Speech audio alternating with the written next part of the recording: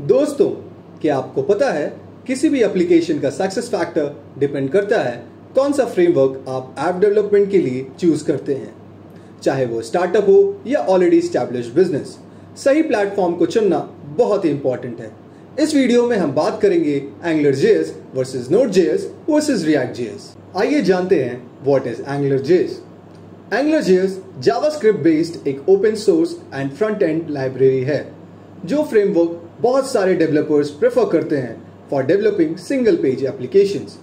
Angular JS assist करता है developers को रिजॉल्व करने में वो सारे इश्यूज़ जो सिंगल वेब पेज एप्लीकेशन में एग्जिस्ट करते हैं. एंगलर जेएस के पास बहुत सारे सेट ऑफ़ फीचर्स हैं, जैसे routing data binding templates and dependency injection ये सारे फीचर्स एंगलर जेएस को सक्सेसफुल और एक widely use JavaScript framework globally बनाता है. So why do we choose Angular JS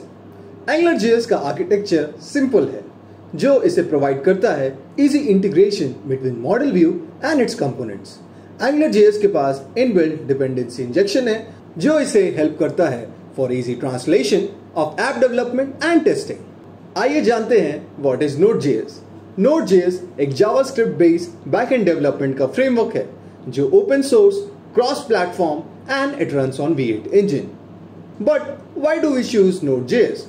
Node JS की हेल्प से कोडिंग एक्सट्रीमली इजी हो जाती है for the back end development Node JS को यूज़ करने से स्केलेबिलिटी भी इंप्रूव होती है using the event driven approach for the app development आइए जानते हैं what is React JS React JS JavaScript based front end development का फ्रेमवर्क है, जिसे फेसबुक के इंजीनियर्स ने बनाया है। ये भी एक ओपन सोर्स लाइब्रेरी है, जिसके पास एक्सटेंसिव यूआई और एमवीसी का आर्किटेक्चर है। जो इसे एक रॉबस्ट और एक डायनरी लाइब्रेरी बनाता है। आइए जानते हैं why do we choose React JS React JS के पास वर्चुअल डॉम है,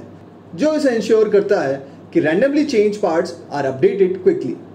React JS allow करता है क्लाइंट साइड और सर्वर साइड रेंडरिंग को। Components in React are highly reusable so beginners के लिए it's pretty easy to learn and adapt it quickly